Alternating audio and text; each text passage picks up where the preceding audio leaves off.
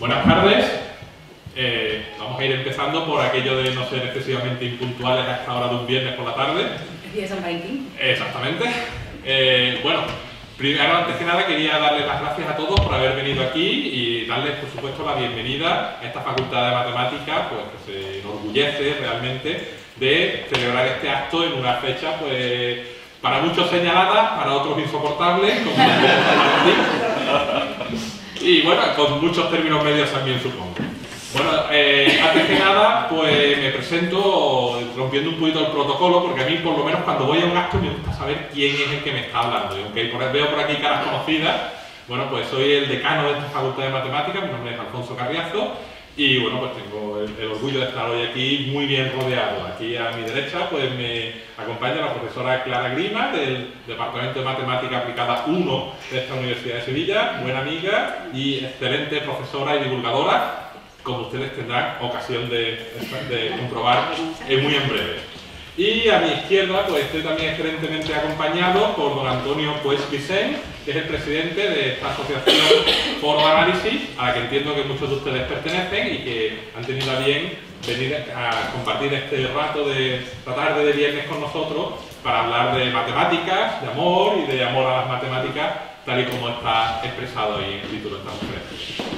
Por mi parte, bueno, yo voy a hacer lo que hacen los malos oradores, entre los que se suelen incluir todos los políticos, y es decir, que seré breve. Saben ustedes que cuando alguien empieza hablando diciendo que va a ser breve, miente. Bueno, voy a intentar no ser muy mentiroso.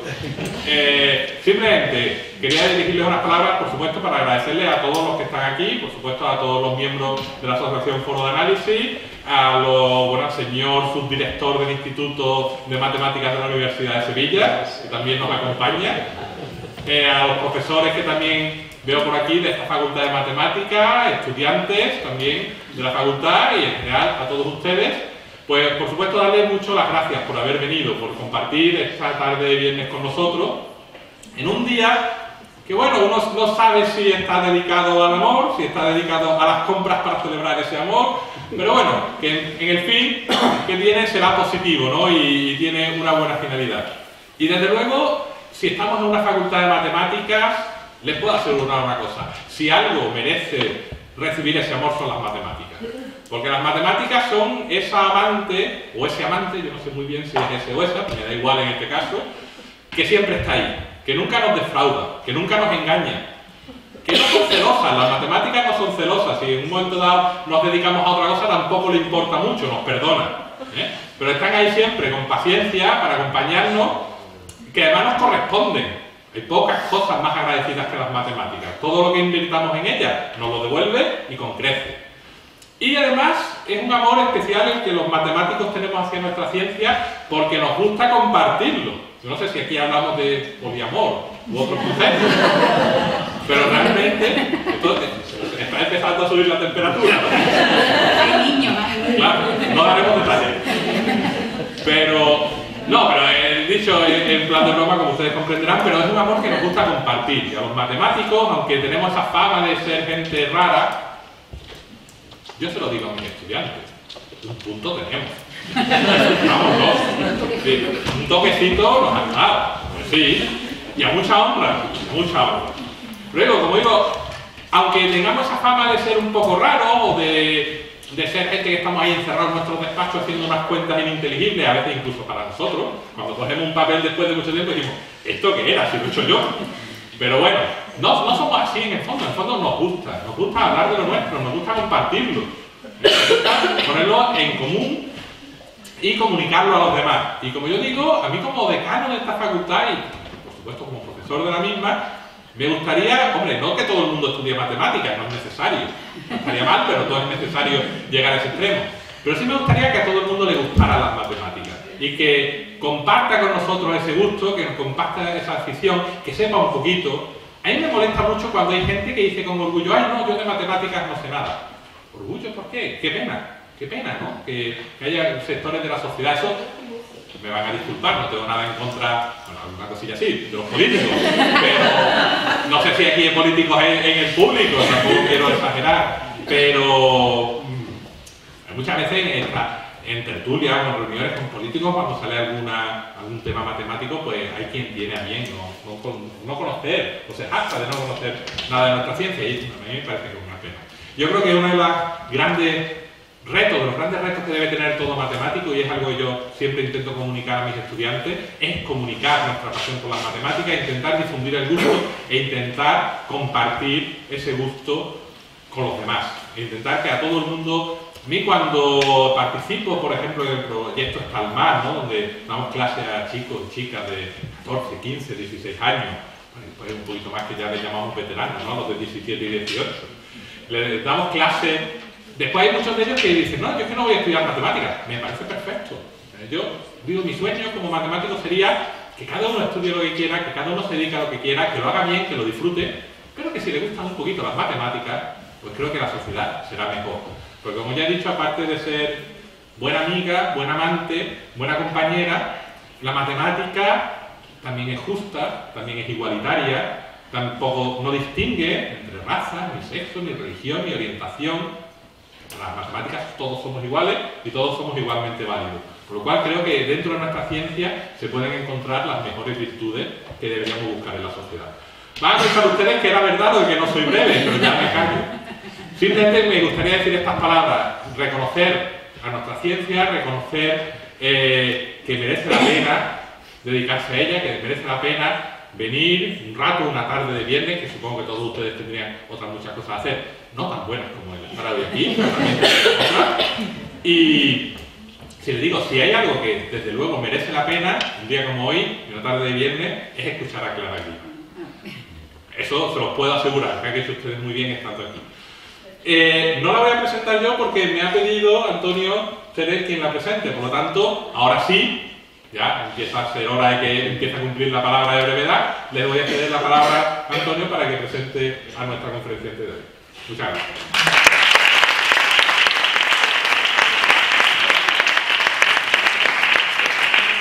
Buenas tardes a todos y muchas gracias por su asistencia. Eh, especialmente quiero agradecer eh, al profesor Carriaso, a toda la, Facultad de Matemáticas por el afectuoso recibimiento que nos ha hecho a, la sección Foro de Análisis. Prometo ser breve, ya decidirán ustedes si he sido mentiroso o no. Eh, un poco en la amable presentación que ha hecho el profesor Carriaso, eh, unas breves palabras para decir quiénes somos el Foro de Análisis, porque hay muchos de los presentes que pertenecen a la asociación, pero otros que no nos conocen. Foro Análisis se fundó como asociación hace ya unos 15 años eh, y nuestro objetivo es eh, la divulgación. Somos un punto de encuentro de discusión y de reflexión en definitiva.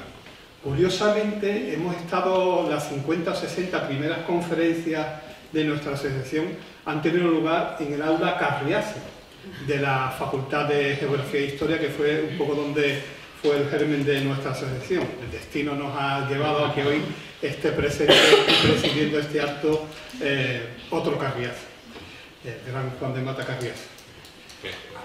Aclaro que era mi abuelo.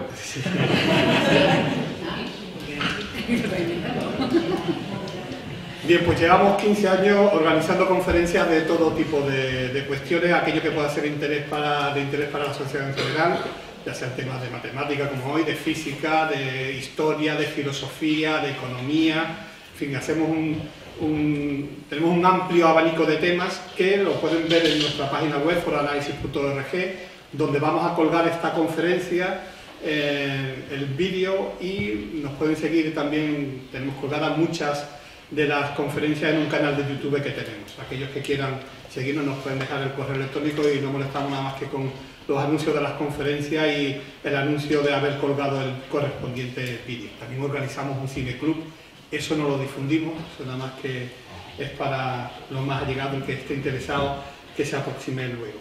Y sin más palabras, pues quería presentar a, a Clara Grima, que mejor divulgadora de matemáticas no podríamos encontrar. Ella, como ha dicho el profesor Carriazo, es profesora de la Escuela de Ingeniería Técnica Superior de Informática, catedrática del departamento de... Titular, titular. es importante, ese más es importante. Hombre, claro que es importante. Primero a mí es importante. Profesora titular.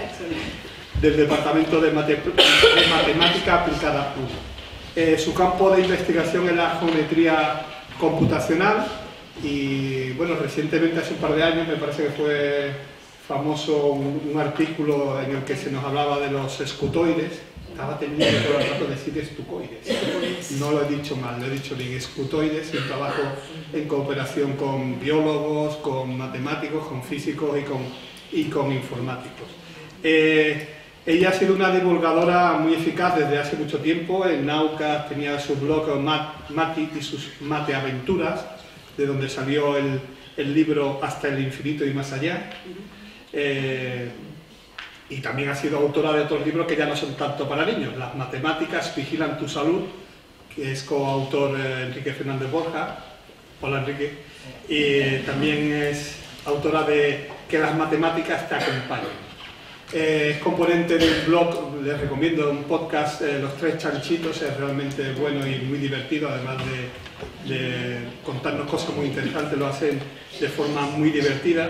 Y también organiza y participa en divulgación de, la ciencia, en Ciencia en el Boulevard o Ciencia en Jotdown. Eh, dentro de su ámbito divulgativo también ha participado en medios de comunicación, el programa de uno de los últimos de Pepa Fernández de Radio Nacional de España, en la cadena SER, son dos días, en Canal Sur La Mirada, Órbita Laica, un gran programa de, éxito divulgativo también. En cualquier caso, esta, trayectoria divulgadora ha sido premiada y reconocida, pues, por ejemplo, por la Universidad de Sevilla, que le, dio, le otorgó un, un premio a la divulgación científica, también premio de la Confederación de Sociedades Científicas de España, también se lo ha reconocido la, la Pablo Lavide y actualmente también preside la Comisión de Educación de la Real Sociedad Matemática de España. Y... Eh, bueno, pues ha sido la presidenta de la comisión de hasta hace poco. Eh, creo que todavía eres, porque es reciente, miembro del jurado de, de los premios Princesa de Asturias y eh, en definitiva pues eh, no podemos tener eh, mejor divulgadora hoy para hablar de las matemáticas que a Clara Grima y además hablarnos, como ha dicho el profesor Carriaso, del amor por las matemáticas en un día tan señalado como el Día de los Enamorados. Así que muchas gracias por estar con nosotros, Clara, todo tú.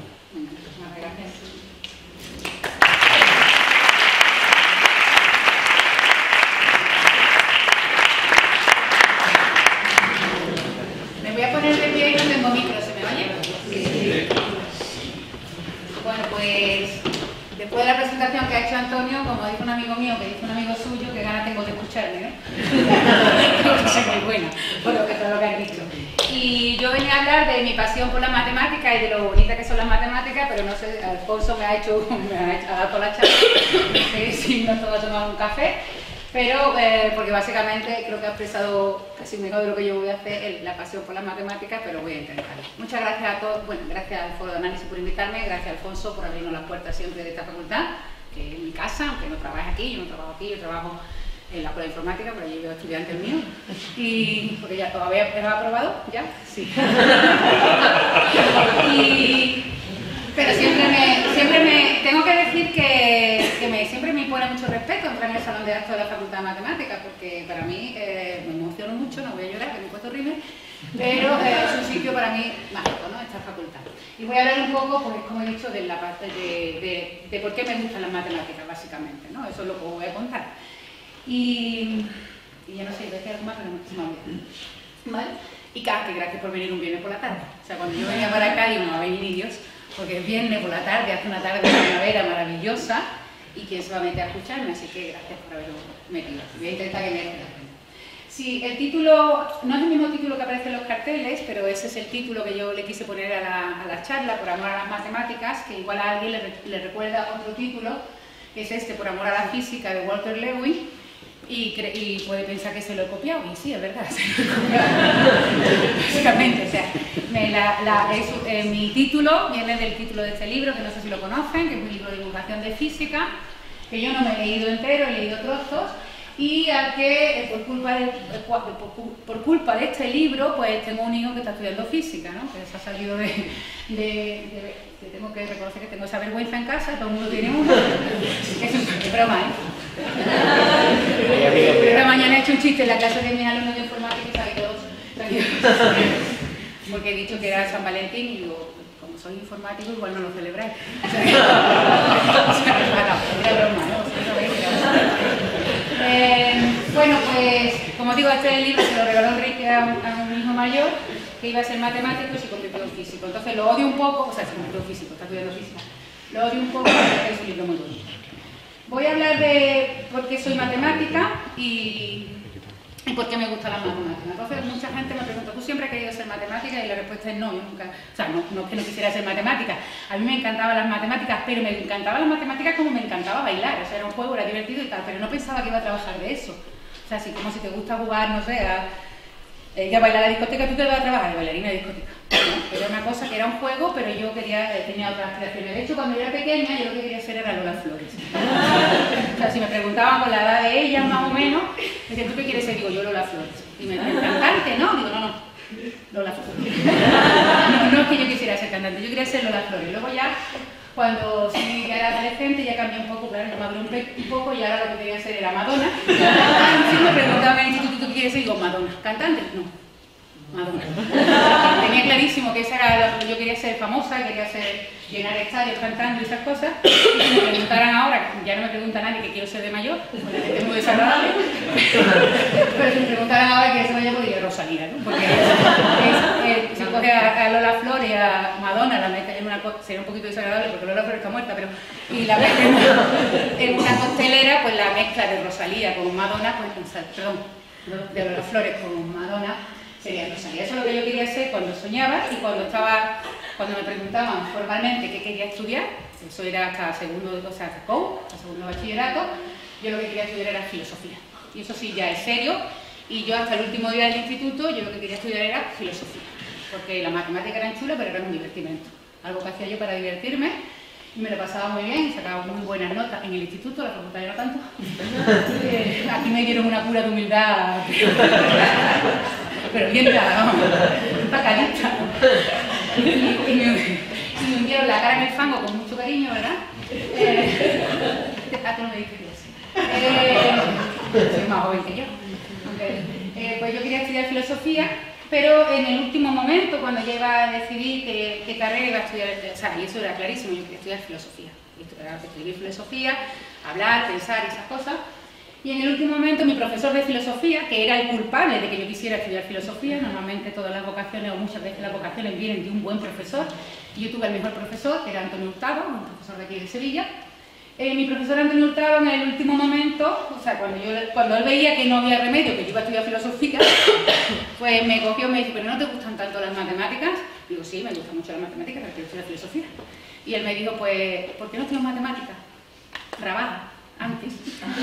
Y luego, cuando tenga un puesto de trabajo, estudio filosofía. Porque desafortunadamente mi profesor tenía razón, pues tenía bastante más salida estudiar matemáticas que estudiar filosofía.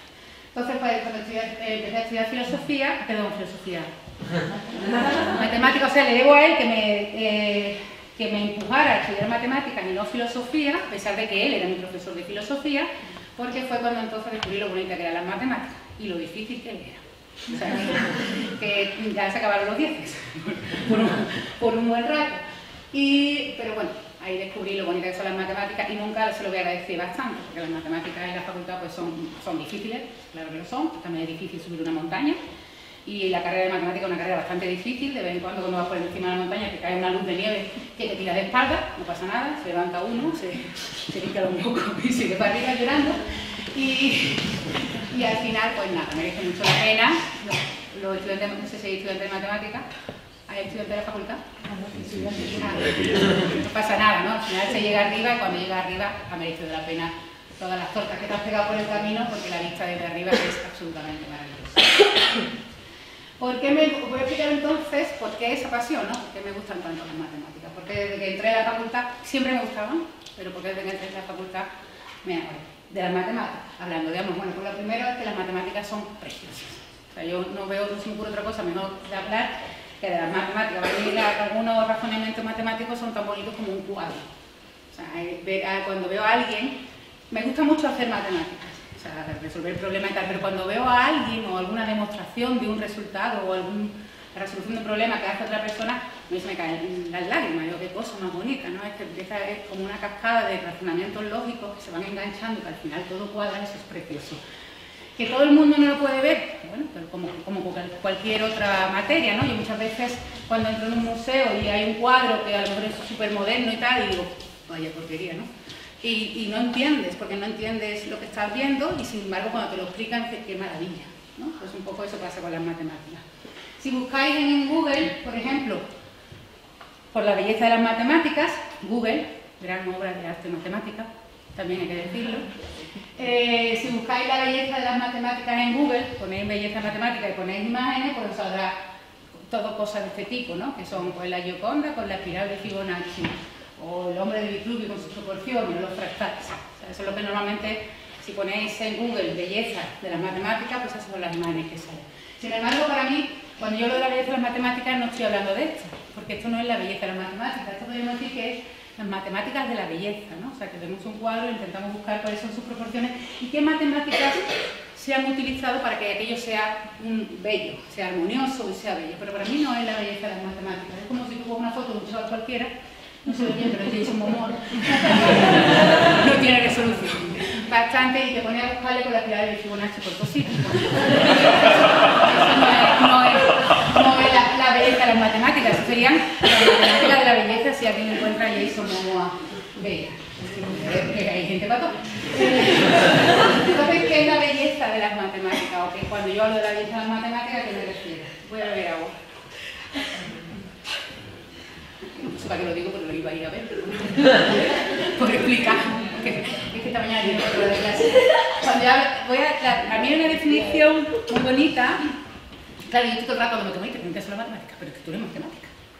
Entonces, una definición muy bonita de las matemáticas que no es de ningún matemático, que es de Fernando Pessoa, que es poeta, poeta portugués, era poeta portugués, no, pues no sé si el poeta portugués por excelencia, uno de los poetas portugueses que tenía esta frase, que es maravillosa. Dice, el binomio de Newton es tan bello como la Venus de Milo, lo que hay es menos gente que se dé cuenta de ello. ¿Vale? Porque para la belleza de Newton, del binomio de Newton, pues igual requiere un entrenamiento más mm, mayor que el que requiere ver la belleza de la Venus de Milo.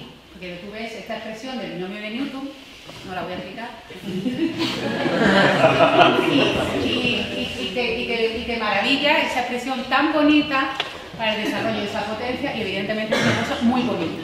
¿Te hace falta a lo mejor un entrenamiento para verla? Sí, pero también para ver cualquier obra de arte, ¿no? Yo esa frase de Pessoa, que es de Fernando Pessoa, que poeta, no era matemático, era, perdón, era poeta, no era matemático, la digo muchas veces de la identidad de Euler, ¿no? que es, yo creo que es más fácil de entender la belleza para alguien que no esté demasiado entrenado, a mí me encanta el binomio de Newton. Eh, esta es la identidad de Euler, donde aparecen pues, los cinco números más importantes de la matemática, que son el 1, el 0, el número e, la unidad imaginaria i y el, pi, que este sí lo conoceréis, más mediático, engarzados de una forma muy sencilla, pues con una operación de suma y otra de exponenciación, y formando una fórmula muy chiquitita, ¿no? muy, muy concreta, que los enlaza a los cinco. ¿no? Eso es la belleza de las matemáticas, no ver cómo se ha conseguido eso. Pero igual también hace falta un poco más de entrenamiento.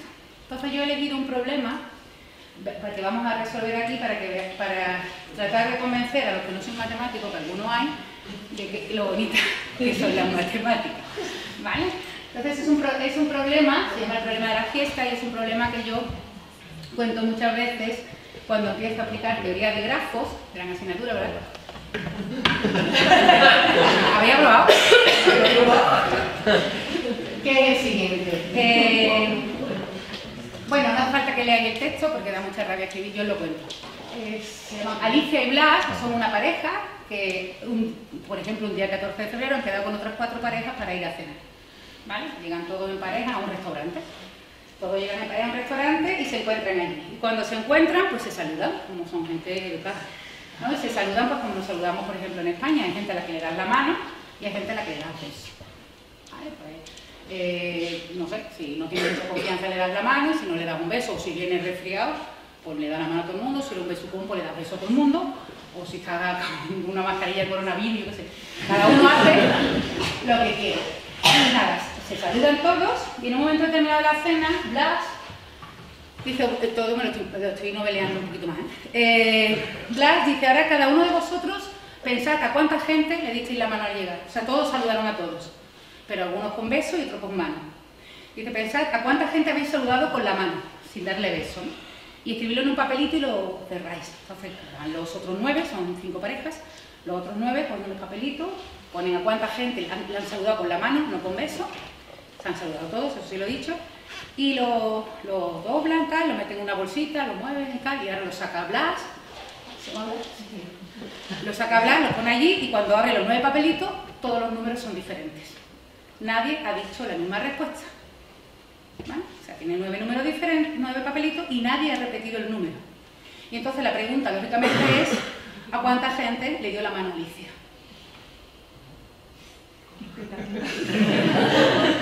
Esto cae en el examen. Faltan datos. ¿No?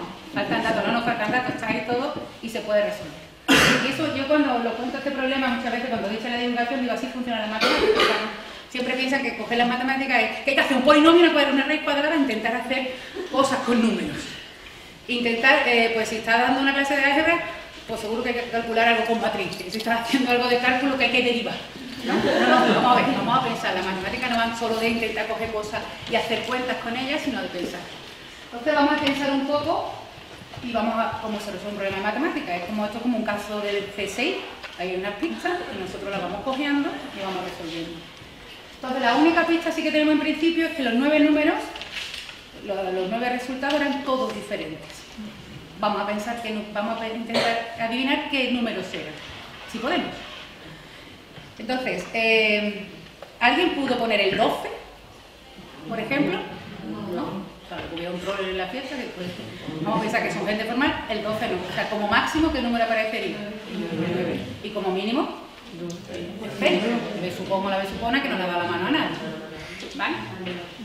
O sea que los números que pueden aparecer en esos papelitos son de entre el 0 y el 9.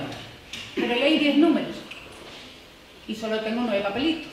Pero uno piensa un poquito más y dice, espérate, que uno sobra. ¿Cuál sobra? El 9 sobra, ¿por qué? Porque venían en pareja. Llegaron en pareja. Entonces tú cuando llegas no a una fiesta no saludas a tu pareja. La traes saludada de tu casa. O no, porque viene Pero desde luego no se te ocurre saludarla al llegar porque todo el mundo está está enfadado. Entonces, nadie saluda a su pareja al llegar a una fiesta si llega con él. Luego el 9 es falso, luego ya están ahí. O sea, ya sé lo que ponían en los 9 papelitos, no pueden ser otros números, tienen que ser del 0 al 8.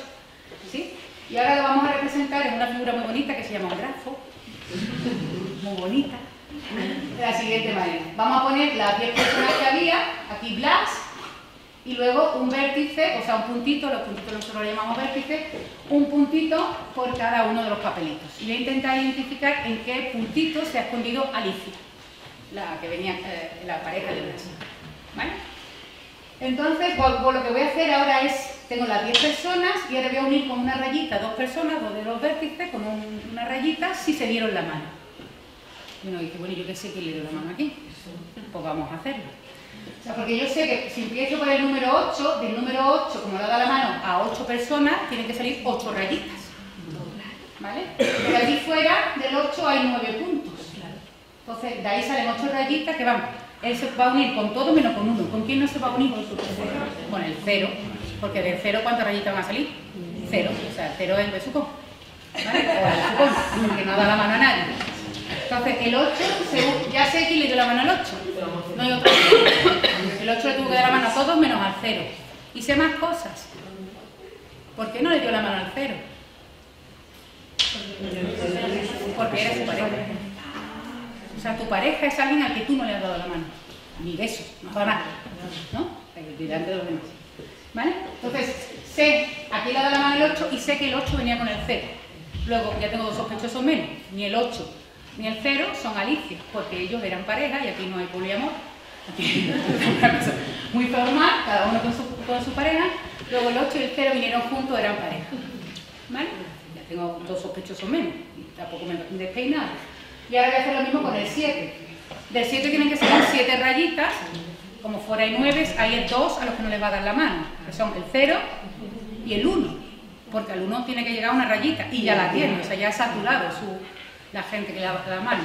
Entonces, del 8, bueno, pues el 8 y el 0 en rojo, para que se vea que ellos vinieran juntos, del mismo color, como los jubilados alemanes. Eh, y ahora ya sé que el 7 le ha dado la mano a todo el mundo, menos al 0 y al 1. Y también sé que, que el 1 es su pareja. Porque tú, el, tu pareja siempre se encuentra entre las personas a las que no le diste la mano, ni beso, pero desde luego no la mano. Entonces, o el 0 o el 1 tienen que ser su pareja, que son los únicos que no le dio la mano. Como el 0 venía con el 8, el 7 venía con el 1. Dos sospechosos menos. Alicia no es el 7 y Alicia no es el 1. Y ahora voy a hacer lo mismo con el 6. Del 6 tienen que salir tres rayitas, o sea que se une con todo menos con 3. ¿Con quién no se va a unir? Con el 0, con el 1 y con el 2. Porque el 2 ya tiene sus dos rayitas. ¿Vale? Entonces lo 1, tenemos aquí el 1 del mismo color, y ya tengo que el 6 le ha dado la mano a todo el mundo, menos al 0, al 1 y al 2. Uno de ellos tiene que ser su pareja. Porque tu pareja no le dan la mano, tiene que ser el 2. Porque si te venía con el 1, el 8 venía con el 0. Ya sabéis quién es Alicia, ¿no? Sí. ¿Quién es?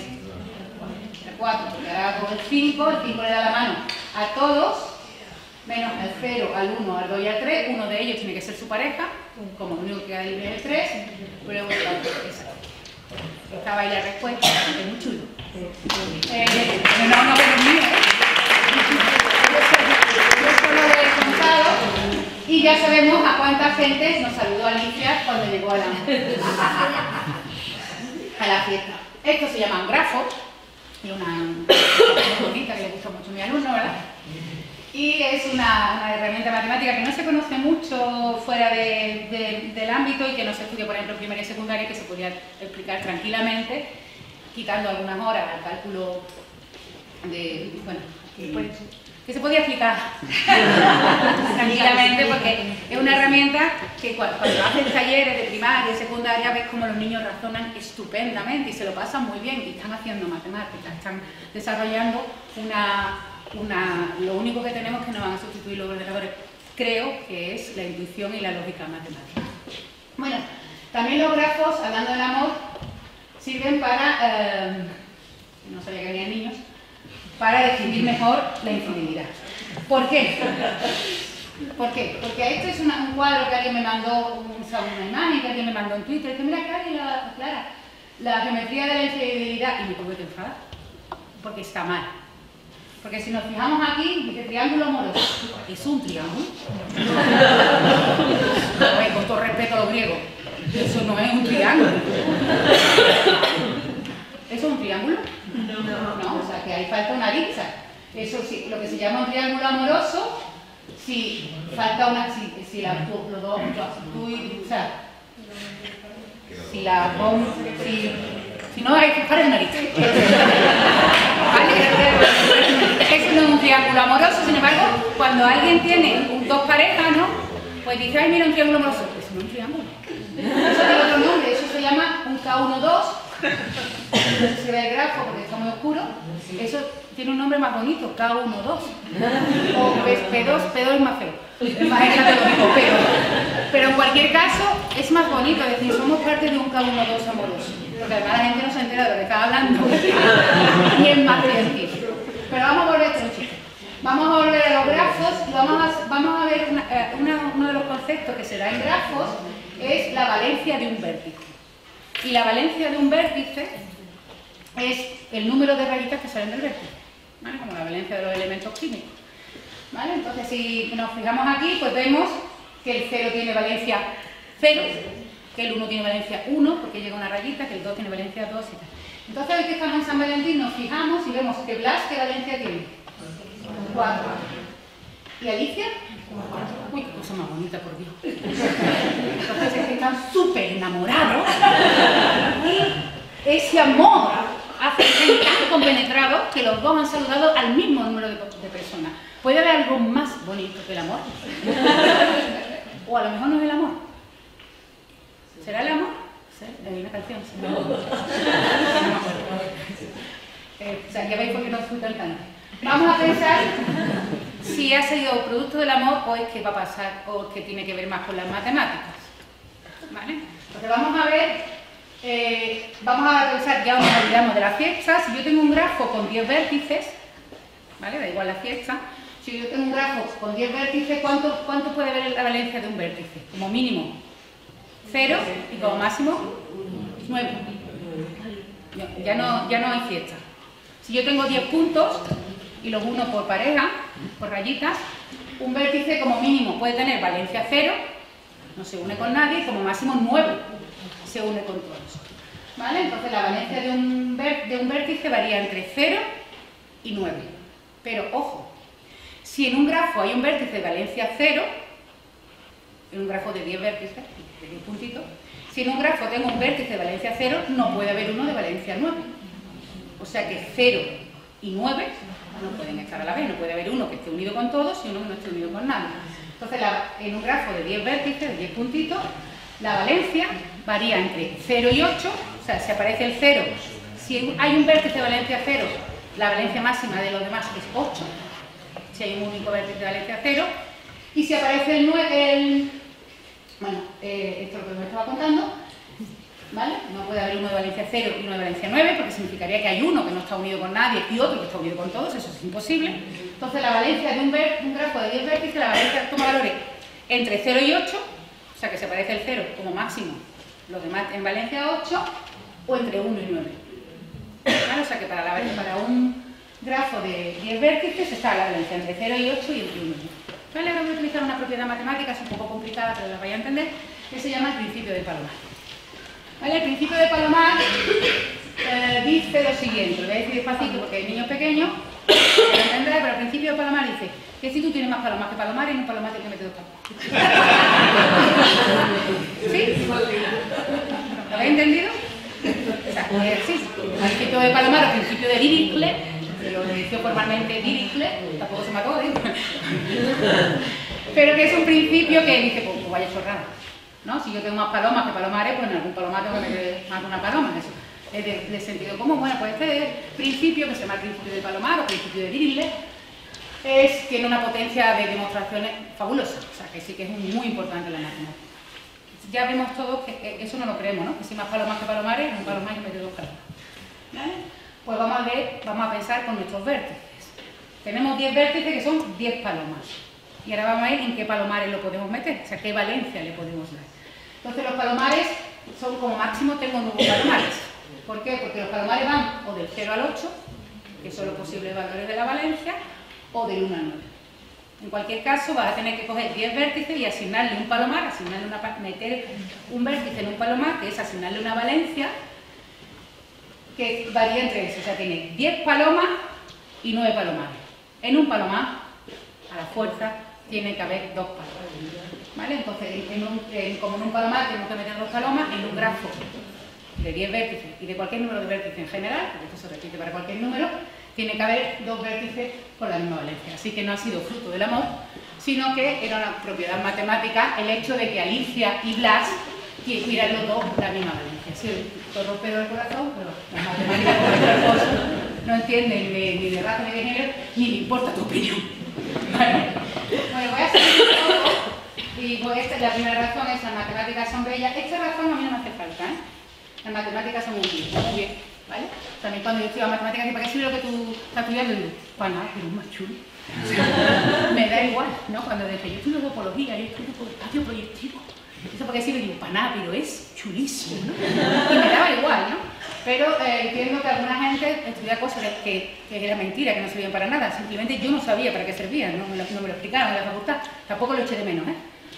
Pero, eh, bueno, pero además luego he descubierto que son útiles. Entonces aquí, siempre que digo, me acuerdo de Hardy, que decía que las matemáticas nunca tienen que ser útiles, sino que tienen que ser bellas. Y él eh, blasfemaba no, sino que criticaba mucho aquellos que intentaban hacer matemáticas que sirvieran para algo. Sino hay que hacer las matemáticas, Hardy era matemático inglés, bastante excéntrico, por decirlo de una manera, eh, me encanta, me encantaba Hardy, y eh, yo decía que las matemáticas no tenían que ser útiles, sino que tenían que ser bellas. ¿vale? Pero aún así son útiles.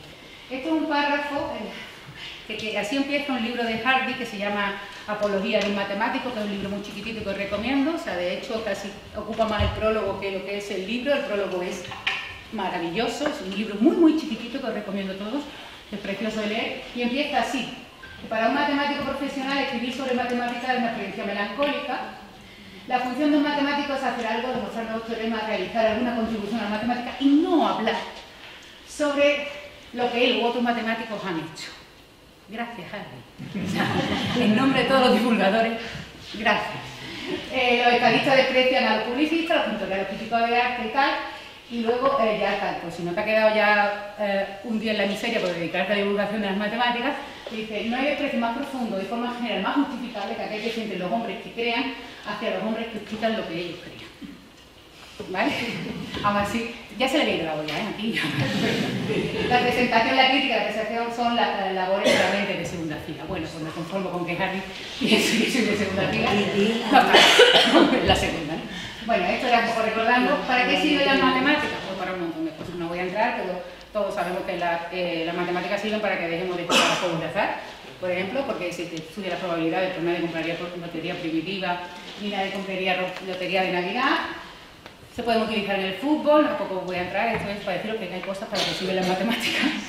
Sirven, eh, eh, pues se pueden utilizar un montón de matemáticas en el fútbol, sirven para que nos podamos hacer fotos muy chulas en Instagram, o sea, con nuestros móviles, fotos de millones de píxeles y lanzarlas inmediatamente a Instagram o mandarlas al grupo de la familia, porque se hace con compresión de imágenes, o sirve incluso para eh, decidir cuando una pareja de, eh, de, hombre y mujer de distintos sexos comparten la casa y por tanto el cuarto de baño, para saber cómo hay que dejar la tapa del retrete eh, intentando que la energía total de la pareja en el hecho de subir y bajar la tapa sea lo mismo.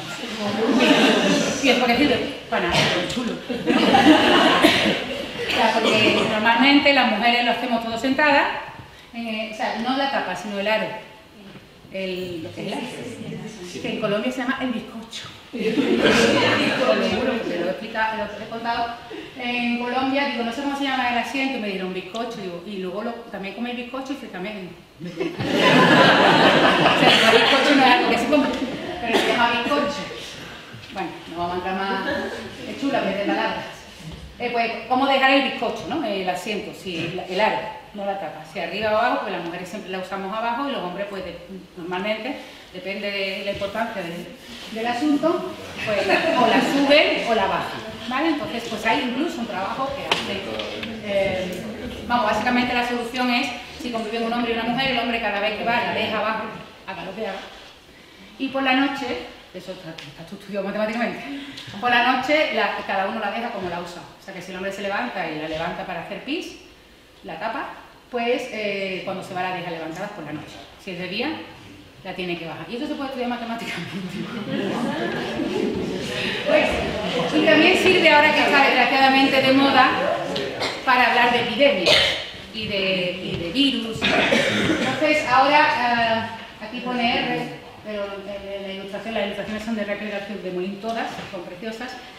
Ahí pone R, pero en, realidad se llama R0, ahora que estamos todos hablando del coronavirus. Pues supongo que habéis oído hablar de que están calculando, los médicos están intentando calcular el R0 de la enfermedad.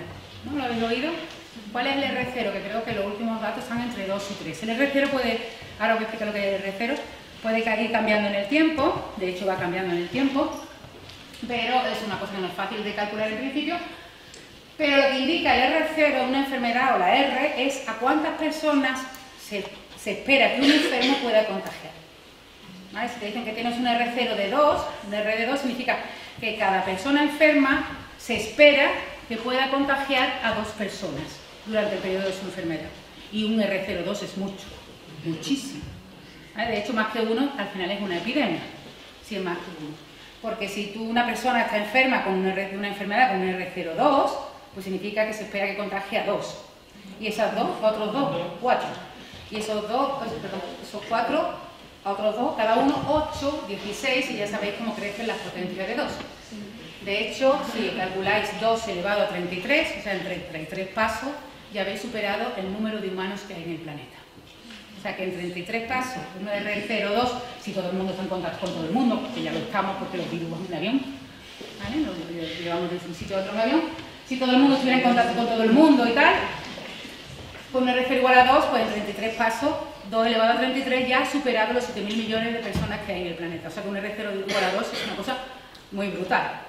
Lo que pasa que es cierto que cuando empieza la enfermedad y empieza a contagiarse la gente, el R0 va bajando porque no queda gente para enfermar.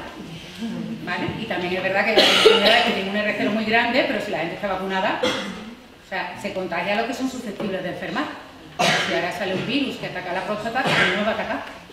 O sea, yo soy no soy susceptible, creo. Pero, eh, y a las personas que están vacunadas. Por ejemplo, el R0 del del, ¿cómo se llama? del coronavirus, creo que está entre 2 y 3, que es muy alto.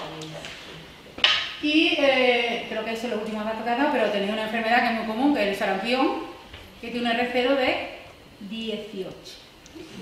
Eso es el sarampión. O sea, el sarampión es la enfermedad más virulenta que existe. Y también puede matar. De hecho, está matando muchos niños en África. Entonces, por eso cuando hay movimiento antivacunas, lo primero que sale es una epidemia de sarampión porque como rompas la, inmunidad de grupo, el, sarampión corre como la pólvora, ¿vale? Porque no es una enfermedad mortal en general, aunque sí mata, ¿vale? Pero sí que es muy virulenta. Bueno, pues para eso, voy a cambiar el precio, todavía queda un serio. Para eso también sirve la matemática, para entender cómo va a ir una epidemia y también para saber a cuánta gente hay que vacunar. Porque también de los modelos matemáticos que hacen esto, sabemos cuánta gente hay que vacunar. Tienes que vacunar tienes que conseguir que el número de personas susceptibles, o sea, de las personas que se puedan enfermar, sea menor que 1 partido por el R.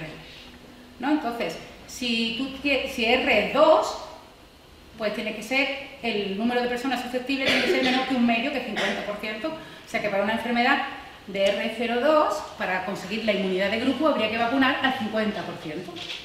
¿Vale? Y si tienes un R0 de 18, pues te sale más o menos 95%. Por eso todos tenemos que estar vacunados del sarampión, porque ese porcentaje que falta del 5% se reserva pues, para gente que tiene trasplantes de corazón y no se pueden, trasplantes de órgano, y no se pueden vacunar, para personas inmunodeprimidas por, por un quimioterapia. O sea, el sarampión hay que vacunarse todo y para un R0-2 pues habría que vacunar más del 50% de la población. ¿Vale? O sea que también ahí sale lo chunga que es la enfermedad y lo que hay que hacer para pararla. Ya dejar la enfermedad. Y voy a dar otra razón, o sea, eh, básicamente con esta parte quería comentar que la matemática, he cogido algunos ejemplos, pero hay muchísimos más, las matemáticas sirven para diseñar chaquetas.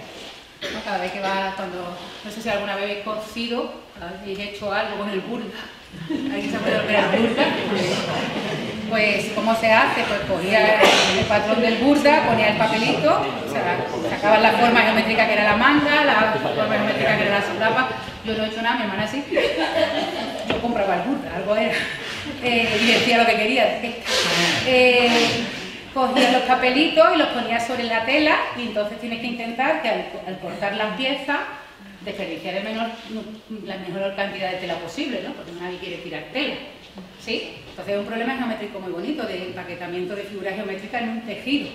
Y eso cuando el tejido era liso, vale, pero si el tejido era de cuadro, se complicaba porque además de que ahorrar la tela tienes que conseguir que los cuadros o la raya o el dibujo geométrico vayan en la misma dirección, o sea que eso complicaba muchísimo el problema. ¿Vale? O, te preocupa de eso y creas una marca como desigual. eso, fue por eso, porque no sabía resolverlo.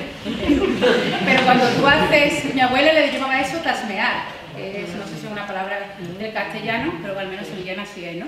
Tasmear es cómo colocar las piezas del patrón que es un problema geométrico muy bonito para Pero cuando, eso cuando lo hace Powell, pero cuando, o tú, pero cuando lo hace Inditex, ahí ya tienen, ya hace mucha chaqueta a la vez, o sea, ahí es un problema que puede ser bastante interesante porque puede eh, optimizar esa forma de poner los patrones, puede costar muchísimo dinero si ya estamos hablando de empresas grandes. Bueno, quiero decir que hay muchas cosas. Otra de las razones por las que eh, me gusta, bueno, no sé si me gusta, sí, sí me gusta. Matemáticas es que las matemáticas son muy poderosas.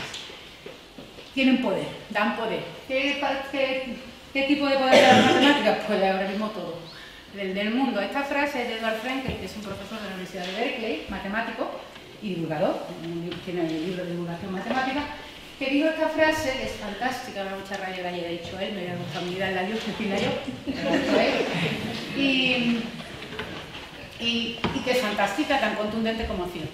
Hay una la élite que tiene el poder, lo tiene porque sabe matemáticas y ¿Vale? Y esa frase ahora mismo es absolutamente cierta.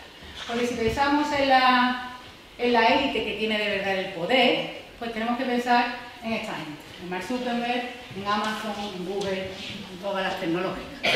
¿Vale? Son la gente que tiene de verdad el poder.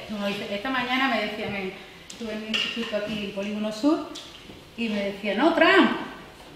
Digo, bueno, ¿por qué crees que un imbécil como Trump y esto no es una opinión, es un teorema.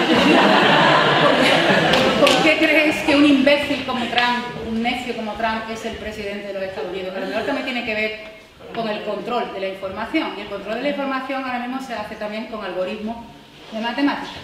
O sea que posiblemente este señor tenga mucho que ver con que un necio sea el eh, presidente de los Estados Unidos, también podemos pensar en Bolsonaro, también podemos pensar en el Congreso Español, pero aún no voy a entrar en esos detalles.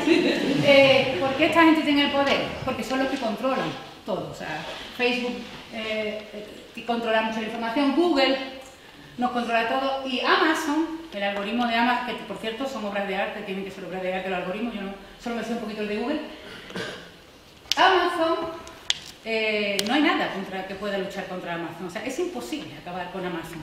De hecho, no sé si habéis oído que el corte inglés, el corte inglés, va a empezar a cerrar tiendas. El gigante de la compra en detalle empieza a cerrar tiendas. Pero es que no se puede hacer nada contra Amazon. O sea, y lo que hace Amazon, nos gustará la política laboral, ahí yo no voy a entrar, es una sala de matemáticas, pero, eh, pero es que lo que hace es fascinante.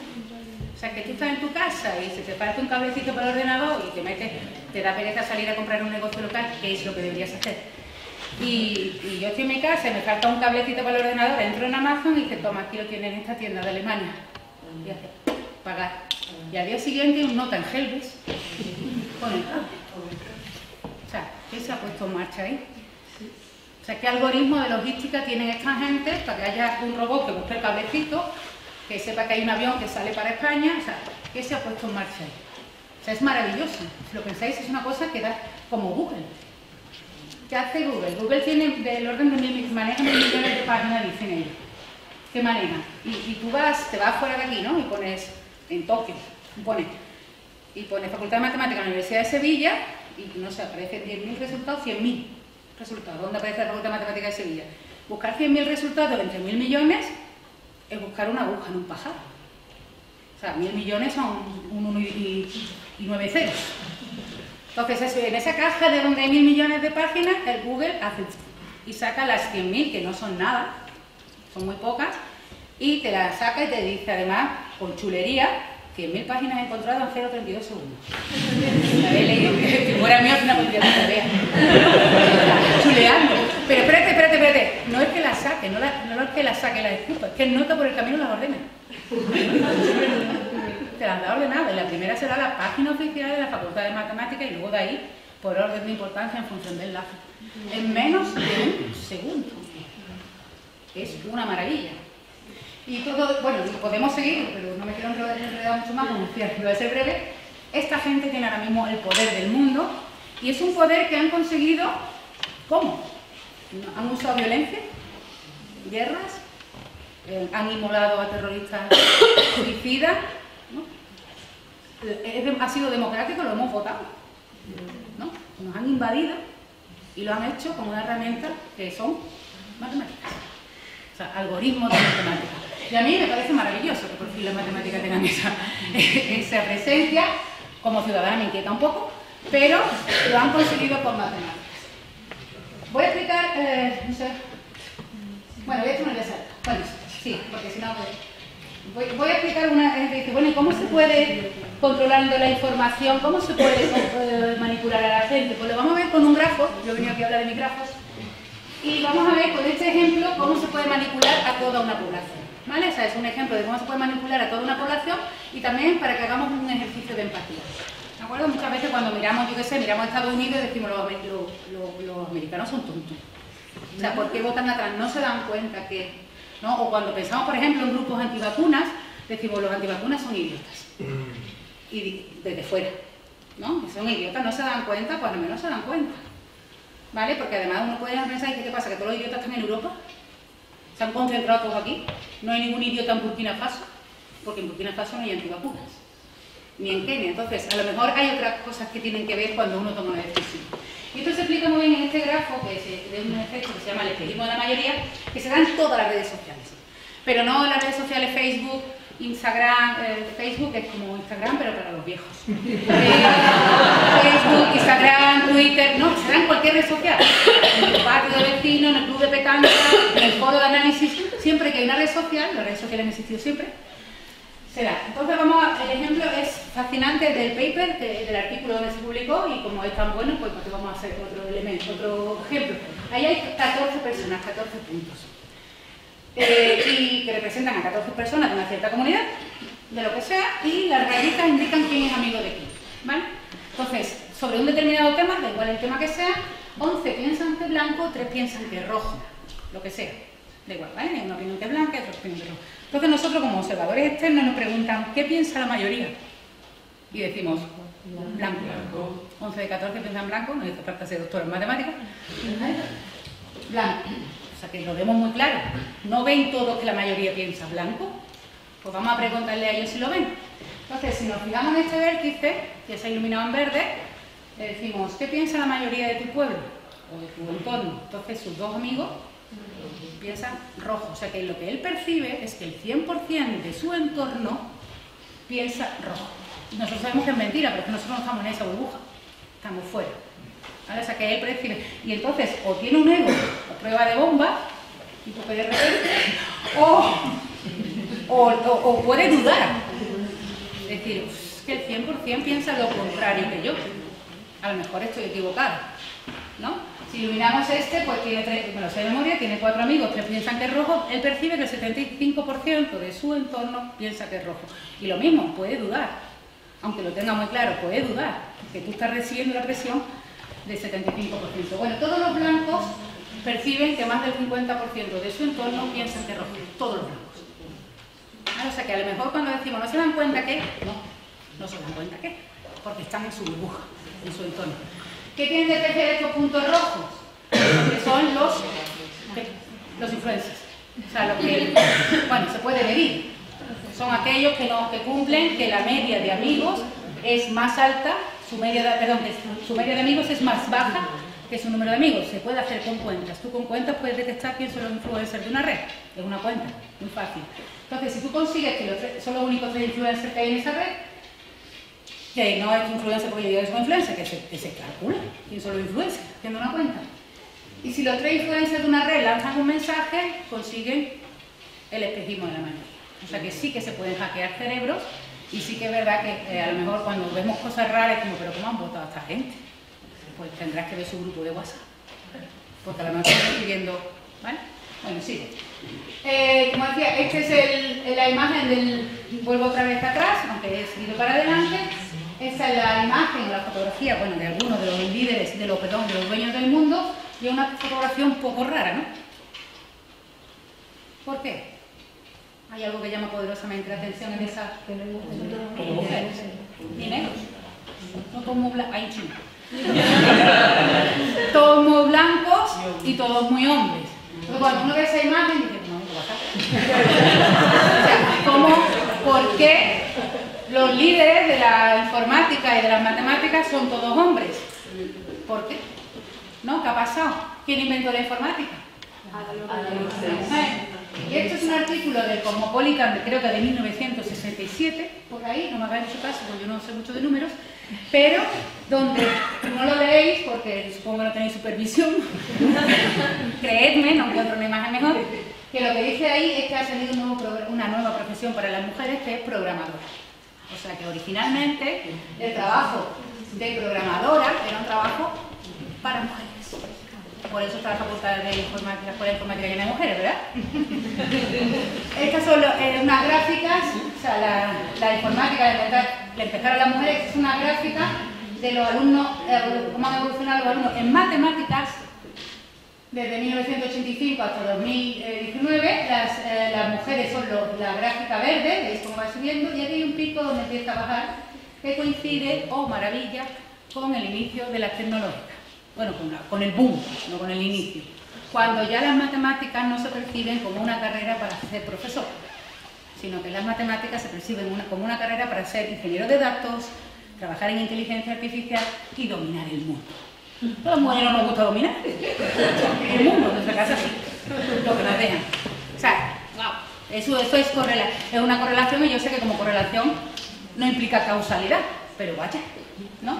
Y esta es la evolución... Ay, que he puesto de matemática, me he equivocado. Bueno, aquí viene de informática, que es peor. ¿Vale? lo creéis, que me he equivocado, puesto de misma gráfica. Si no, lo, si no lo creéis, estos son los datos del porcentaje de chicas, de mujeres en mi escuela, la Escuela Técnica Superior de Ingeniería Informática del año pasado, no pedidos de este año. Esos son los números. 7% en computadores y menos de un 12% en software e informática. Y me dice, bueno, claro, no, a la niña no le gusta la informática. Por la genética, pues en el 80 sí. Hemos cambiado genéticamente las niñas. Entonces, a la niña no le gusta la informática, digo, pero espérate, espérate, que en mi escuela hay otra titulación de informática, pura y dura, pero se llama Ingeniería de la Salud.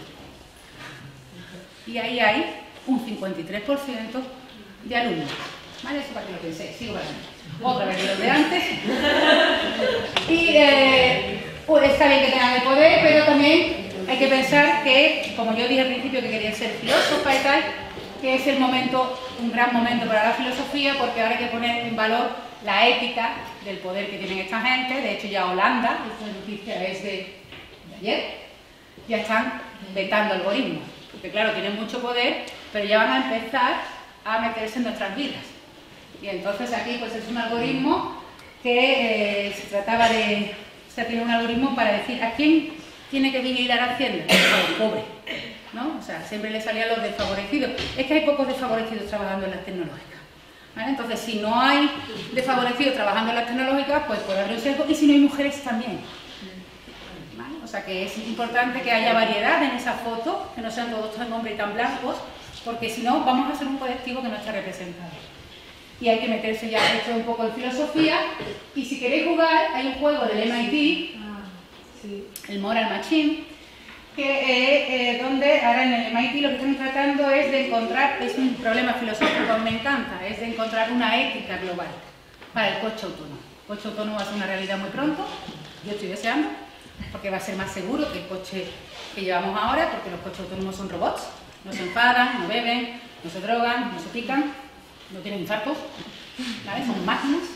Pero sí que es verdad que hay un problema ético ahí y es que por primera vez en la historia del hombre, una máquina va a tener que decidir en décimas de segundo y sin supervisión humana a quién matar. ¿Vale? O sea, aquí tienes una escena del juego donde si el coche sigue adelante, matan. No sé si es un médico, porque el juego te dice, este señor es médico, este señor es ladrón. Y dices tú, ¿tú cómo sabes si es ladrón? Pero tu coche sí, porque tendrá una base de datos de ladrones. O sea, que es todo muy así.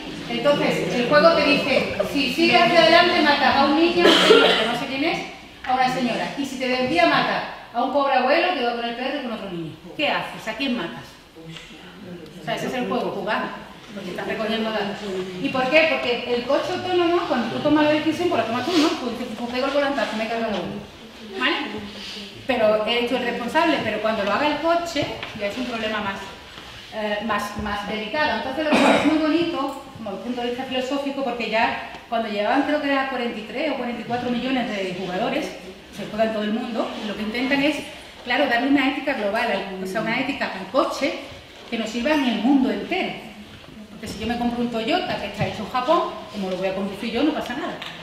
Pero si me compro un Toyota que está programado en Japón y esa ética no corresponde con la mía, ya sí es un poco más delicado. Y entonces es muy curioso, me encanta este tipo de problemas, porque los primeros resultados que dieron, que no me acuerdo de los cuarenta y tantos millones, pues había la ética europea, bueno, la, el, sí, los europeos y los norteamericanos creo que estábamos todos juntos en el mismo, digamos, con la misma ética, pues eh, los europeos, este, este, grupo de personas, pues salvaban, o sea, un sesgo pequeñito, en donde preferían salvar a un bebé que a un anciano. Pero en Asia, en la India, en Japón y tal, el sesgo era al revés, prefieren salvar con una cuestión cultural, ellos valoran mucho a, su, a sus ancianos, o sea que, es un problema muy chulo y os eh, Moral Machine y jugáis, está todo para eso, para decir que me gusta mucho la matemática y que la filosofía va a venir aquí a poner este plano. Voy a terminar ya y eh, con esta frase que, que, los niños se ríen cuando yo la digo en las charlas, pero que es verdad. O sea, que se llevan dando superpoderes, pues tener superpoderes es saber matemáticas y programar, ¿no? Pero superpoderes de verdad. O sea, no veis tirando araña, esto no corre ni vestido ridículo por la calle. Sino, eh, se puede ser un superhéroe, tener superpoderes, vestido normal, una persona razonable, sin mallas de colores, bueno, que si alguien quiere ponerse mancha de colores, que yo la ponga. y tener superpoderes de verdad. Y tener superpoderes es programar robots, como este, por ejemplo, hay más, que es Milo, que consigue, que ya ha conseguido que niños que tenían un trastorno de espectro autista profundo sonríen. ¿Vale? ¿Por qué? Porque es un robot y no se cansa de hacer este gesto todas las horas que hagan falta. Porque por mucho que lo quiera el padre o la madre, tendrá que comer, tendrá que ir al baño y se cansará y se deprimirá no lo consigue, pero esto es un robot, no se deprime. Y además en los ojos lo que tiene son algoritmos de inteligencia artificial que pueden estar analizando la cara del niño todo el rato, como una, como una definición que tú no tienes en los ojos. Si el niño mueve una ceja, pues ya por, un grupo de psicólogos, los que lo hayan asesorado, dice eso significa que está contento, esto significa que, está, que, le desagrada. O sea, y eso sí es tener superpoderes, porque eso no lo hemos podido hacer nunca. Eso se hace con matemáticas y con programación, como juguetes que se adaptan a niños con problemas cerebrales, o como robots que son, pueden entablar conversaciones con abuelos con demencia senil o con Alzheimer, e incluso recordar lo que le han contado y preguntarle por la historia que le han contado, eso, eso es tener superpoderes. Y cuando pongo esto, dice alguna gente, mm, ¿por qué no lo cuidan su familia? No, porque este robot no es para cuidar a la abuela, este robot es para cuidar a la cuidadora o al cuidador de la abuela, que también necesita que alguien los cuide. O sea que eso es tener superpoderes y en general hacer a la gente más feliz. O sea que las matemáticas tienen un lado oscuro, como yo digo, hay unos Darth Vaders, eso es lo que en la foto de antes, que usan la fuerza, que son las matemáticas, para controlar y para ser los dueños del imperio. Pero también en este planeta hay muchos Jedi buenos que están usando las matemáticas y la informática sobre todo para hacer pues lo que hacen, que las matemáticas hagan de las matemáticas un mundo más bonito, más feliz y más solidario. Y ya sí que he terminado. Muchas gracias.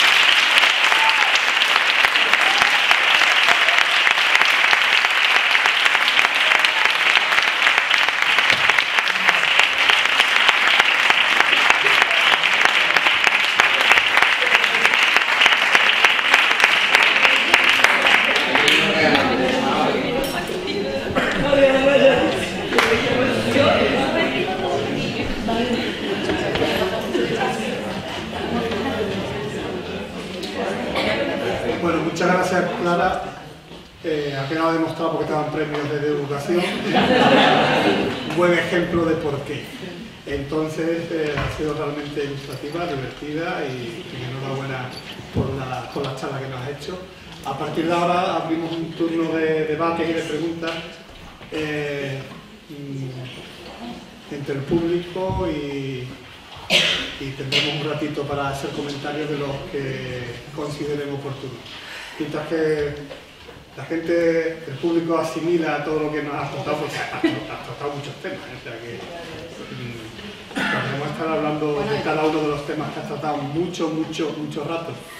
Mm, yo sin embargo te quería preguntar, el, tema de los escutoides que hicisteis, eh, lo, descubriste, los escutoides es una forma geométrica que no se conocía hasta hace muy poco, hasta que el grupo de investigación este de la Universidad de Sevilla multidisciplinar lo, lo publicó. Eh, ¿Se puede decir que lo, que lo, descubristeis o que lo creasteis? bueno, no sé si acá esto. Sí, que lo descubrimos. O sea, que todo el mundo puede crear una forma geométrica, ¿no? Inventa una forma geométrica y la define. Pero si la inventas, la estás creando. Claro, pero nosotros no la inventamos. Nosotros, bueno, pues ahí por ahí Alberto, cuando... Eh, ¿Todo el mundo sabe lo que son los escutoides? a, lo mejor no todo el mundo, ¿qué decir? Eh, bueno, pues básicamente eh, lo que querían saber en el grupo de biología celular, dirigido por Luis Escudero, que es un profesor, de, o sea, un investigador del grupo de, biología celular de aquí de la Facultad de, la Universidad de Sevilla y del Instituto de Biomedicina de Sevilla, pues querían ver la forma que tenían las células epiteliales. ¿no? Los epitelios son pues, la membrana que recubren todos nuestros órganos y que visto al microscopio no es, no es fino, no es como un papel de aluminio, sino que es como gordito, como una turrija, ¿no? que recubre al microscopio. Y querían ver qué piezas eran las, cómo eran las piezas que formaban ese epitelio, que está formado por células.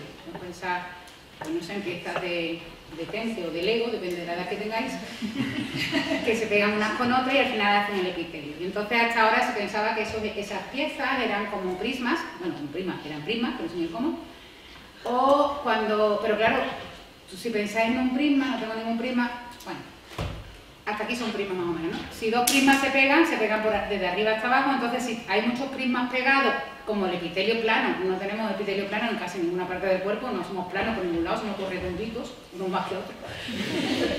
Cuando se pliegue, ¿qué pasa con los prismas? Se separarían, ¿no?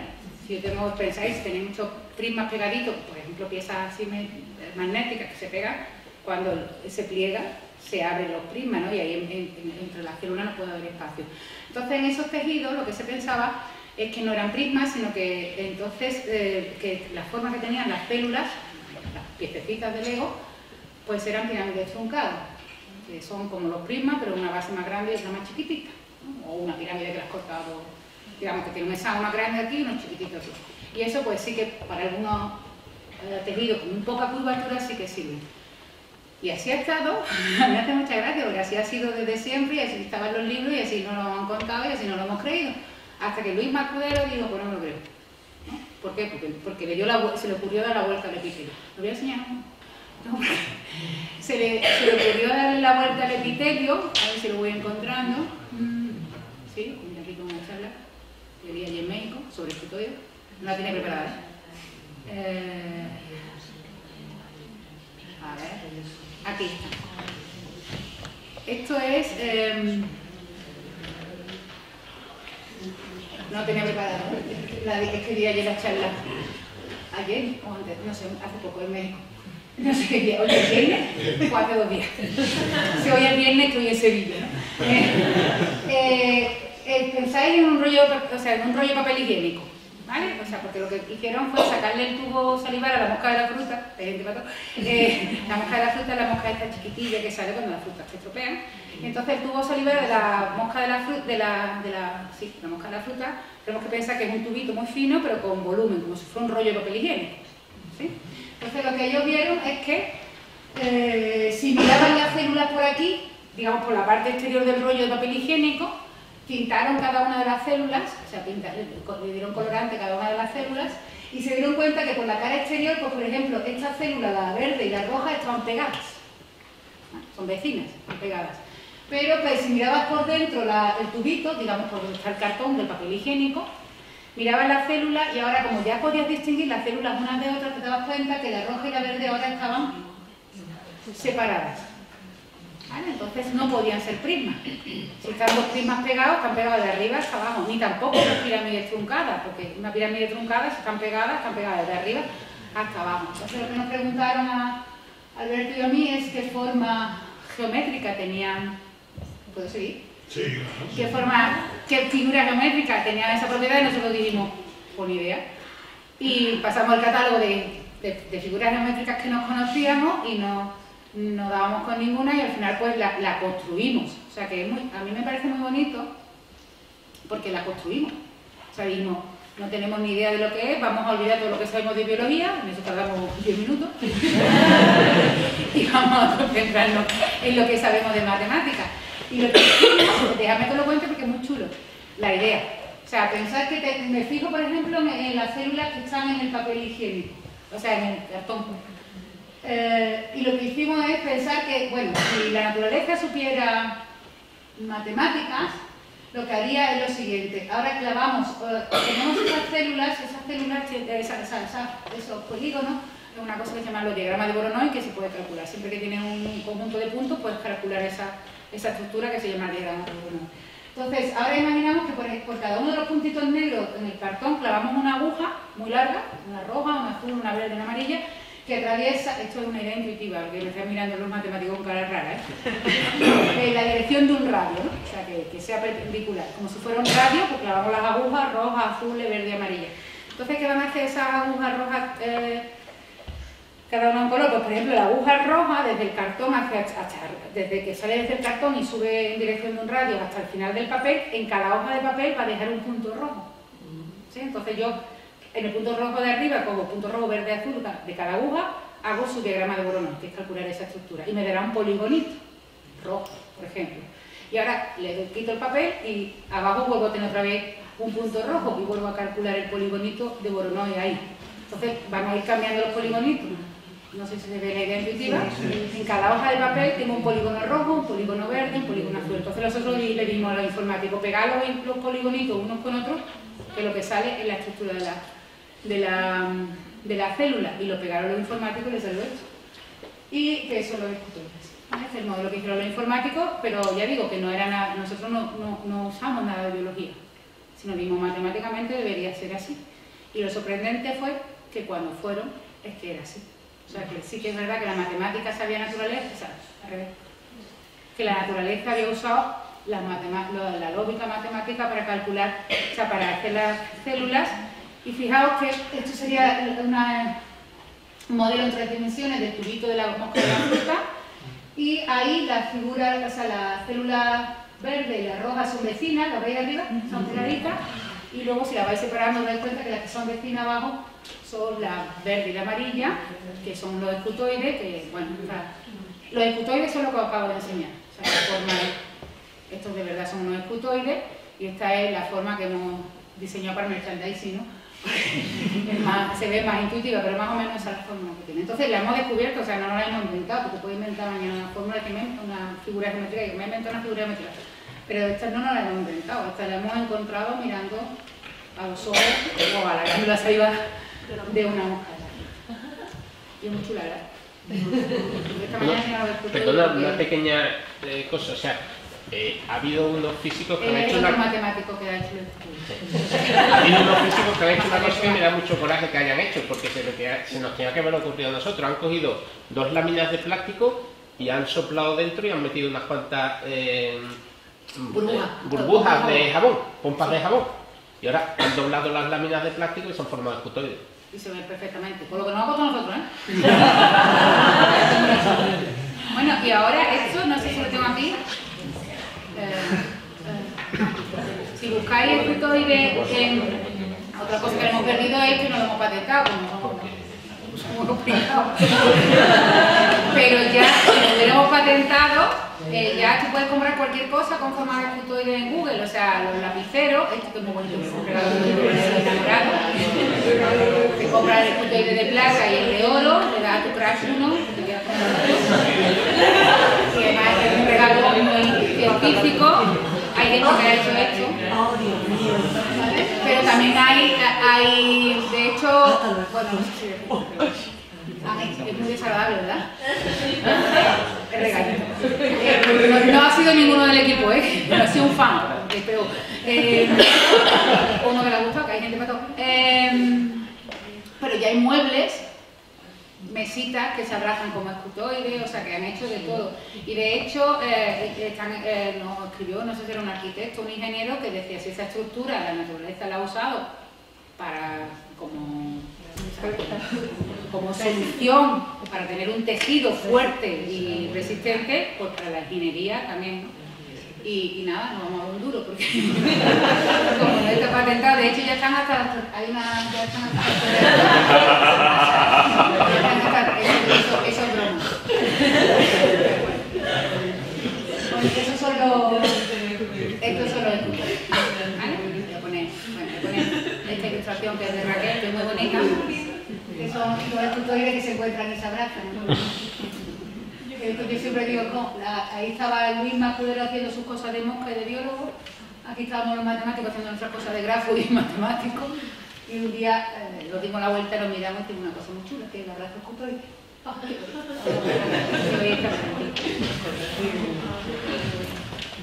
Bueno, un comentario, una pregunta. Hoy tenemos la suerte de tener un público muy joven. No sé si alguno de los pequeñitos se, atreverían a comentar algo. Abundando en el algoritmo de Google, cuando ponéis foro análisis, os ponen, nos ponen los precios. ahí funciona muy bien el, el algoritmo de Google. Es que el algoritmo de Google es una maravilla, es otra cosa. Y eso que me ha confesado el, el decano, que hoy pensaba alguno que el foro de análisis era un foro de análisis matemático. Ah, A mí me lo han preguntado, en esta casa es lo natural, cuando decimos análisis, ser análisis matemático. No, pero venimos analizando todo tipo de temáticas desde hace muchos años, incluida la matemática. En cualquier caso, no somos eh, matemáticos. Hay- hay matemáticos- Todavía, todavía. Todavía. Hay matemáticos en el grupo, ¿eh? Hay matemáticos en el grupo. ¿No quiere preguntar nada más pequeño? ¿Ha quedado clarísimo? ¿Vas a estudiar matemáticas? ¿Ah, sí? Ostras, ¿sí? ¿Te convencí? Seguro que antes del grano iba a ser matemática. Es una cosa muy sorprendente, lo, hablando de lo de las niñas y la matemática. O sea, yo el año pasado no sé cuántas charlas di en el instituto. No sé, como 200 por ahí. Tal.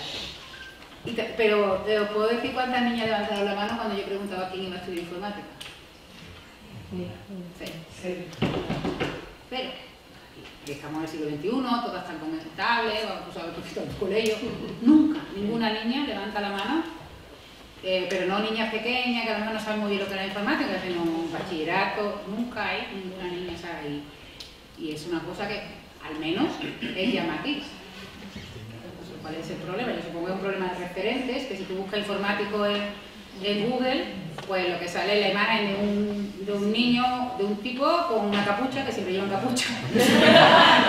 si no lleva capucha no es informático. Eh, gordito y encerrado en un sótano y tal. Y, y, y a oscura. Sí, o sea, una cosa así, y bueno, pues yo tengo mi clase, tengo de todo. Es que vengan a venir ahora, ¿no? Porque no tengo son chicas, ¿no? Mis clases parecen despedidas de solteros, más ¿no? Pero que hay chicas, hay chicos y lo que pasa que el estereotipo, digo yo, que se vende es ese y o que se tal, pero que es una cosa que de verdad que, es un problema, porque lo la toma de decisiones que van a hacer los algoritmos nos van a afectar a todos y si no, tienen que estar representados por los colectivos, las mujeres y, la- y las distintas etnias y las distintas inquietudes, pero en particular las mujeres también. Porque si no van a estar tomando decisiones otra vez gente que a lo mejor no va a tener en cuenta a las mujeres. Y todos saben, por ejemplo, que eso sí fue muy popular, o sea, ha sido muy conocido, que morían más mujeres de infarto que hombres. Eso sí lo, lo- lo habéis oído, lo habéis leído. ¿Por qué morían más? Las mujeres cuando le daban un infarto se morían más que los hombres. ¿Por qué? Porque a nadie se le había ocurrido estudiar los síntomas del infarto en mujeres. Y no, son, no se parecen en nada a los hombres. Entonces las mujeres iban con un con síntomas de infarto le, decía- le daban un tranquilizante porque lo que tiene usted un ataque de nervios, está histérica, relájese, se está sentando no gustan las mujeres, además me encanta. Estoy nerviosa, relájate, digo, ya estoy No me había ocurrido. Eso que, me derivo como un polinomio. Eh, y nadie se había parado a pensar que a lo mejor las mujeres tenían unos síntomas de infarto distintos de los hombres. Y ahora ya eso está bajando el número de muertes por mujeres con infarto, porque se sabe que no tiene que tener los mismos síntomas. Entonces, eso es cuando pones a pensar a hombres, no se acuerdan de que a lo mejor hay otro colectivo. ¿vale? Todo esto para decir que estudié informática, niña. Primero matemática. Primo, matemática. Tenemos una pregunta, Rafael. Bueno, primero agradecerte porque es muchísima presentación interesante, pero cuando se te escucha, la verdad que se ocurren más preguntas que Y una de ellas es cuando este, las matemáticas tienen que estar en la historia, en la antropología, en la farmacia, en carreras que a- en algunas de ellas no, parece que no tienen por qué tener matemáticas. Pero sin embargo has nombrado que el, el aspecto este de, de- de personas raras así, de estudio informática y matemática, ¿hay alguna, alguna asignatura, o se ha planteado alguna vez también para que haya una asignatura de ética o para que el que informática no salga más que con algoritmos y con, y con números, sino también con una formación para cómo tiene que programar en y en informática? Igual que, es decir, en, la- en- en los dos, en las dos direcciones, ¿no? Sí. De letra a ciencia, de ciencia a letra esa, esa, Dios, esa, esa simbiosis que hay, que estás predicando, pero me da la sensación de que más que va en una dirección.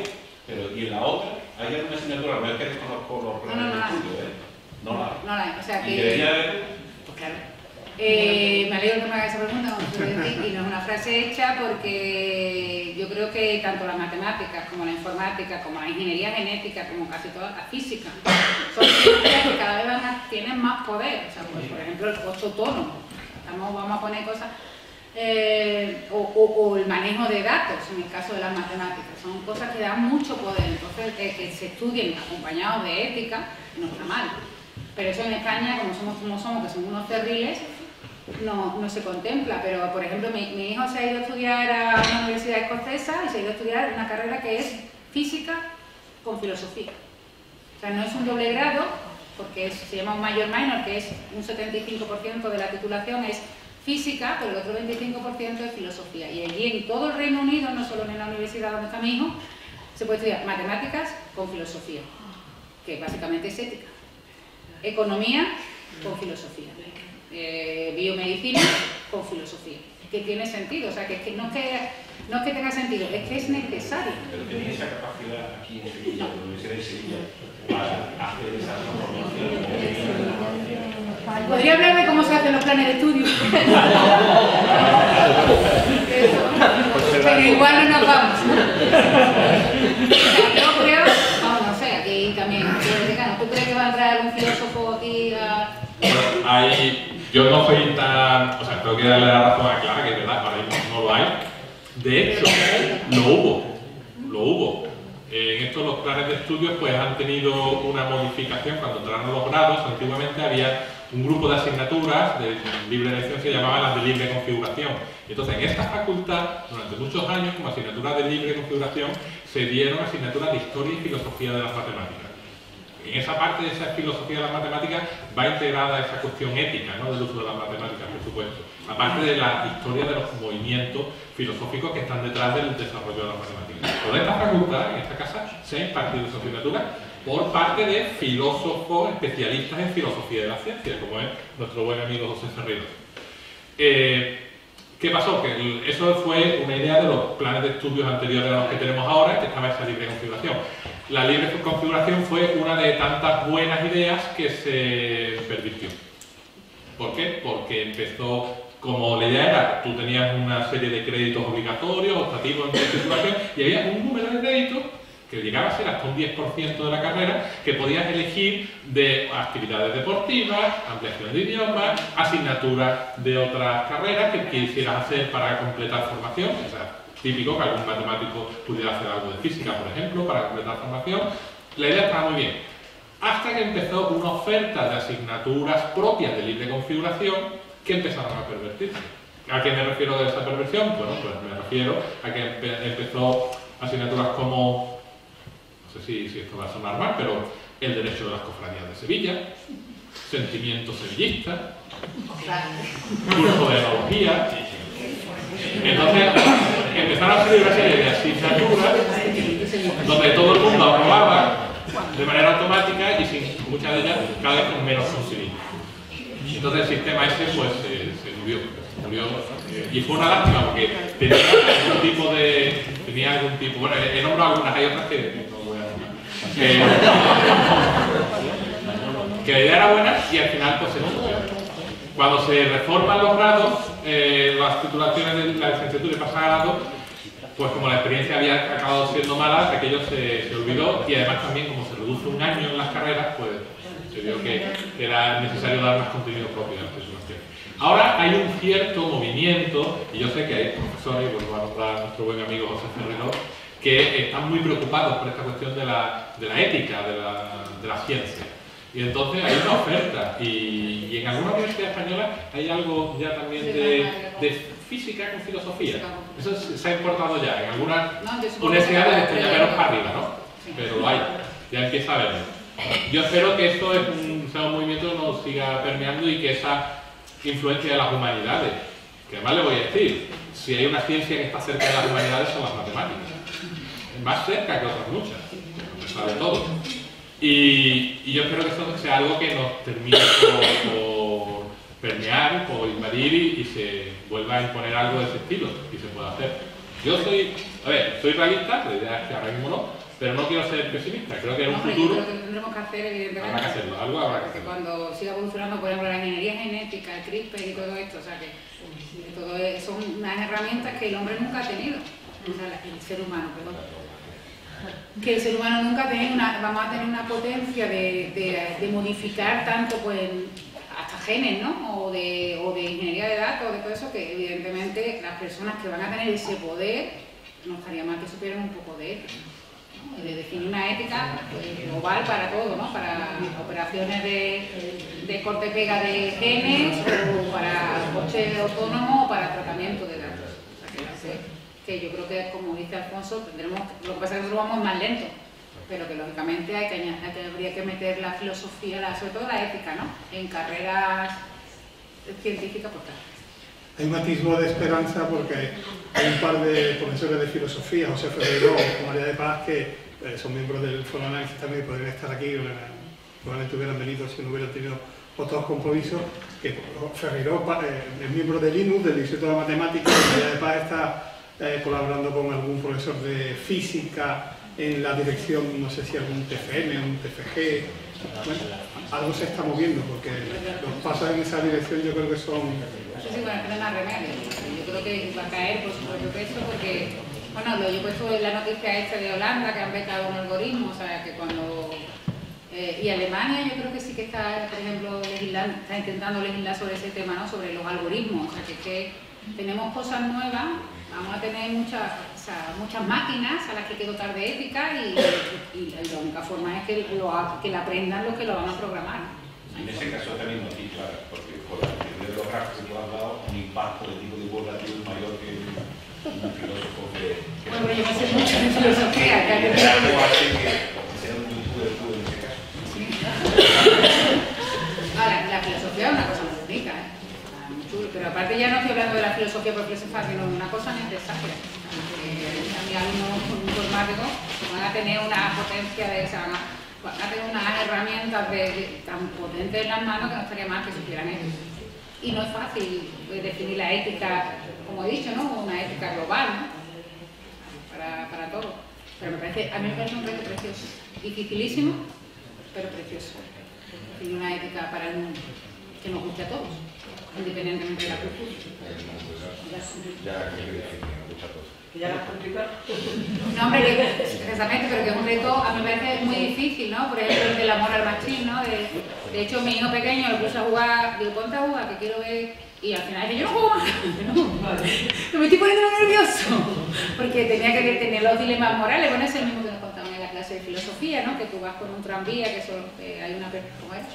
Hay seis personas atadas en la vía, eso lo contaba siempre, un dilema moral me lo contaban en la clase de filosofía, entonces tú vas en un tranvía y lo único que puedes hacer es darle una palanca y cambiar la dirección. Entonces no lo puedes frenar. Y lo han contado, ¿no? Y hay seis personas, por, por alguna razón, están en la vía amarradas y eh, tú lo vas a atropellar, pero te- tienes una vía de salida. Si, si, si no haces nada sobre el tranvía, el tranvía se va a cargar a seis personas. Pero si tú lo mueves, se va para allá y una persona que está sentada tranquilamente en la vía, fuera de peligro, va a morir. Entonces ¿tú qué harías? ¿Activarías la palanca? Pues sí, porque prefiero que muera uno a que muera seis, pero es que ese uno no estaba, no se allí para suicidarse, el otro seis sí. O sea, eh, ese tipo de dilema. Y, y- y ya digo, incluso jugar tú es muy difícil, pero es que esas decisiones va a haber que tomar. Y le va a tomar una.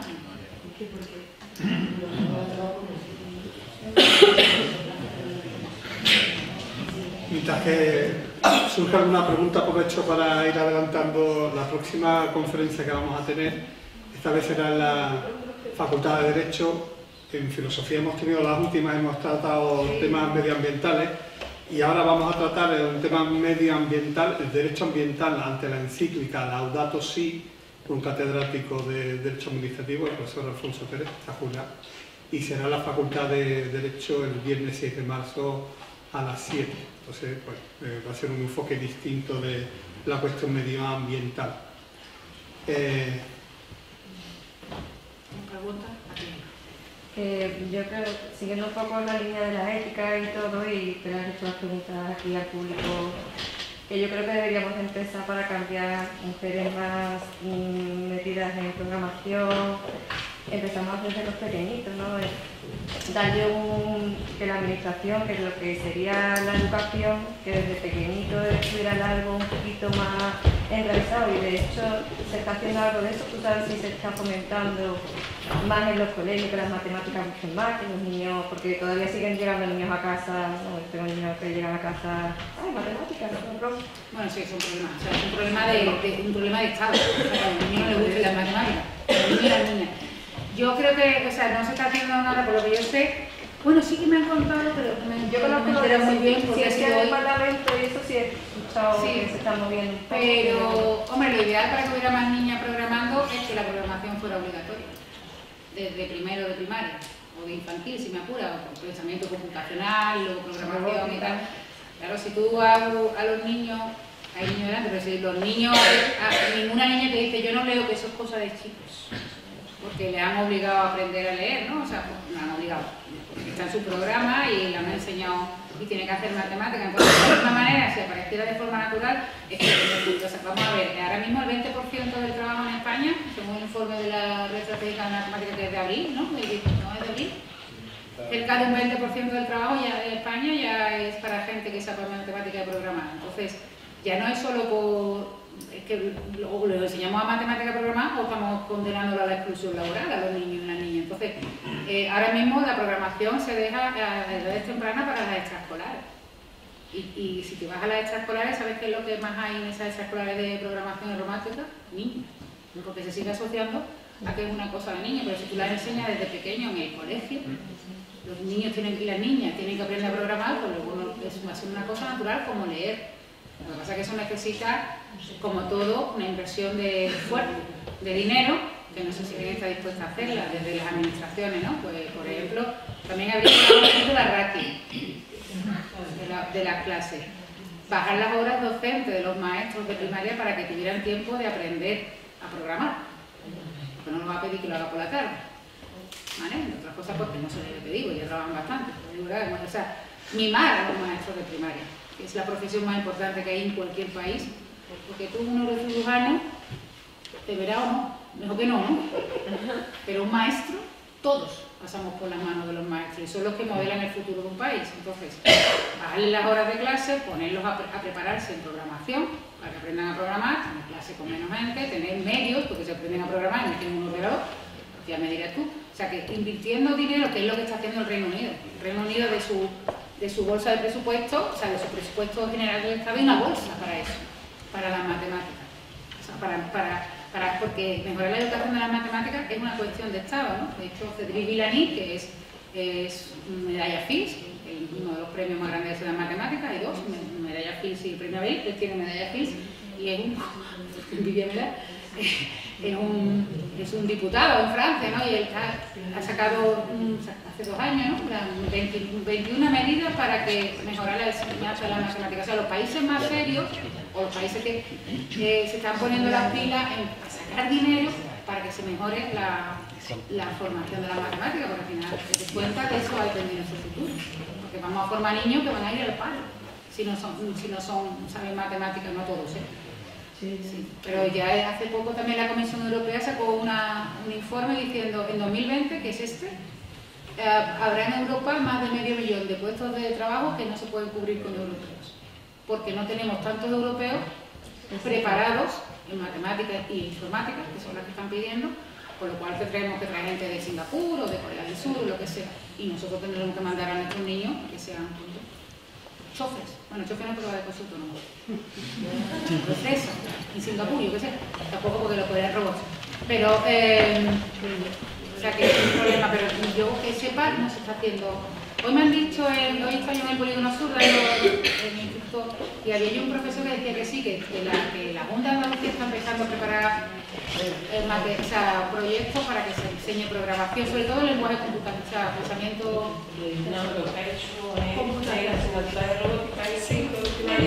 sin dotación ninguna, sin personal cualificado ninguno, con lo cual queda muy bonito un referente. ¿Y ahora semana? Sí, hora a la semana. Pues y tú me habías hecho Sin un ordenador, sin nada, y eso es lo que han dicho este año. Yo creo que No, en el Reino Unido, la, de- la bolsa esta de los presupuestos que sacaron hace dos o tres años incluía eh, incentivos económicos a los profesores que consiguieran que un porcentaje, a partir de un porcentaje de sus alumnos estuvieran matemáticas. Sea, si tú consigues que, yo qué sé, que eres profesor de secundaria, que un, un acuerdo, me lo estoy inventando, ¿eh? me estoy inventando el dato, no, eh, que un 15% de tus estudiantes o más estudien la carrera de matemáticas, te pagamos más. Yo estaba hablando una vez y me dice uno maestros, que lo podían hacer por vocación. Digo, pues lo pueden hacer los futbolistas, también por vocación, a ver cómo se incentiva un futbolista, con pasta, y un futbolista importa menos, ¿no? Entonces hay un incentivo que si tú consigues que un tanto por ciento, no recuerdo el tanto por ciento, tal, te pagaban más. Porque significa un esfuerzo de motivación, bueno, no sé si luego tú quedas con el niño y luego puedes pagar dinero. O sea, seguro que en España lo pervertiríamos. El punto de matemáticas es que te disparte de lo que metes, ¿no? Que luego te pasa lo Pero es que, eh, o sea, eh, ya los países más, más serios, o sea, que se toman estas cosas más en serio, lo tienen clarísimo. O sea, la- mejorar la, sea, popularizar las matemáticas, lo que tú has dicho, que a todo el mundo le gusten las matemáticas, no que todos sean matemáticos. Popularizar las matemáticas y mejorar la educación de las matemáticas en los colegios es, en el, en el- en el- en el documento de Cedric o que ha redactado Vilani, lo pone así, es una prioridad de Estado. Nosotros somos un napoleónico para todo lo que hace, y es así, es prioridad de Estado, que la gente popularizar las matemáticas para todo el mundo y mejorar la educación. ¿Y por qué popularizar las matemáticas para todo el mundo? Pues porque muchos niños, cuando llegan al colegio, antes de estudiar matemáticas, ya odian las matemáticas. O sea, que yo me hace mucha gracia cuando voy a un niño de 5 o 6 años y me dice, a mí que no me gustan las matemáticas. Y yo digo, ¿tú qué sabes? de matemáticas. Pero ya él tiene claro que no le gustan las matemáticas. Porque lo ha escuchado y porque se dice y porque está ahí las matemáticas. ¿Qué pasa con las matemáticas? Si son preciosas las matemáticas. Entonces, por eso lo doy en prevención, para que los niños escuchen que las matemáticas son divertidas. Y si me permitís, ya no quiero enrollar mucho, una, una anécdota personal con mi hijo mayor. Mi hijo mayor, cuando tenía dos o tres añillos, pues era la envidia de todo el mundo, porque el niño se sentaba a comer y comía. Mucha gente no sabe lo que es eso, es su hijo. Y él lo que quería era jugar. Entonces tú le pones la comida, que pum, pum, pum, fuera. No preguntaba esto qué es, esto qué nada. Y cuando empezó a comer en el comedor escolar del cole, eh, llegó una noche y traía allí pollo con verdura y dice, y así. Dice, ¿esto es verdura? O sea, no sabía lo que significaba la palabra verdura. Y dice, ¿esto es verdura? Digo, sí, después no me la voy a comer. Digo, ¿por qué? A los niños no les gusta la verdura. o sea, él debe ser parte de la tribu. Había- y yo digo, esto lo ha escuchado, seguro que ha escuchado un monitor diciendo, quita la verdura, a los niños no les gusta. Seguro. Y entonces él tenía, tenía que saber qué era lo que no le podía gustar. Voy a identificar qué es verdura para no comerme. Dice, ¿esto es verdura? Digo, esto. Y ahora cada vez que le ponían un plato decía, ¿esto es verdura? O sea, porque no vaya a ser que se comiera la verdura. Sin darse cuenta que en su tribu no se come verdura. No le gusta la verdura. Pues este ejemplo que así es lo mismo con las matemáticas. Es lo mismo con las matemáticas. O sea, a mí me ha dicho algún niño en alguna charla que dice, ya no me da vergüenza decir que me gustan las matemáticas desde habías amigo. No te da pena que a un niño le dé vergüenza decir que le gusta la matemática. Pues es lo mismo que la de la verdura. Si tú escuchas que a los niños no les gusta la matemática y yo soy un niño, que son matemáticas porque no me gustan. O sea, esto no me puede gustar si no, soy parte de la tribu. O sea, que es una cosa así que es una risa, pero que luego condiciona pues, pues, el futuro del niño y del país. Estoy totalmente de acuerdo y además yo apuntaría que a mí es algo que me sorprende, porque si hay algo que puede ser divertido para un niño,